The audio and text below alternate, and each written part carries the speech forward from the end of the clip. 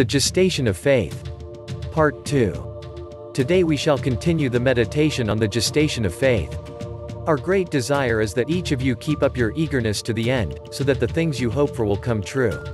We do not want you to become lazy, but to be like those who through faith and patience inherit the promises.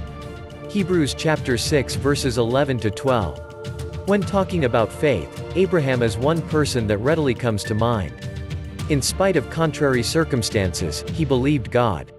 He agreed with God that he was Abraham, father of many nations, when he did not even have a child. Now, that's faith. And he continued in faith for decades, even when it seemed that nothing was happening. That's patience. In the process of waiting, Abraham kept meditating on the faith pictures that God had given him. He did not change his mind and revert to his old name. Rather, he continued to call himself and his wife by the names the Lord had called them, even when the physical circumstances were obviously contrary.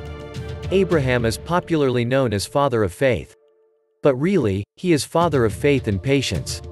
The fact is, he became father of faith because he was father of patience. His faith would have been unproductive if he had not added patience. God has your life all planned out. He has prepared all that you will ever need long before you were born. He has made provision for every need in advance. However, like Abraham and the other patriarchs, you need to exercise patient faith to lay hold of this provision. That is how you can join the elite league of those who through faith and patience inherit the promises. You will succeed in Jesus' name. Get more insights on our website, www.daily-dew.com.